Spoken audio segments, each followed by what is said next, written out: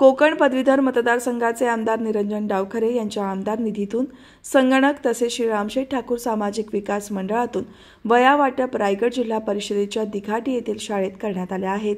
श्री रामशेठ ठाकूर सामाजिक विकास मंडळाच्या वतीने गेल्या अठ्ठावीस वर्षांपासून विद्यार्थ्यांना शालेय शिक्षणाची मदत केली जात असून त्याचा फायदा हजारो विद्यार्थ्यांनी घेतला आहे.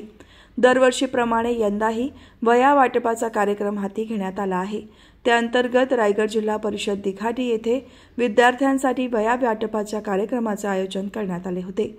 यासोबतच शाळेत आमदार निरंजन डावखरे यांच्या आमदार निधीतून संगणक देण्यात आले. या कार्यक्रमाला दिघाटीच्या सरपंच रजनी ठाकूर शाळा कमिटी अध्यक्ष विकास पाटील शाळेतील मुख्याध्यापक शालेय सर्व शिक्षक विद्यार्थी उपस्थित होते.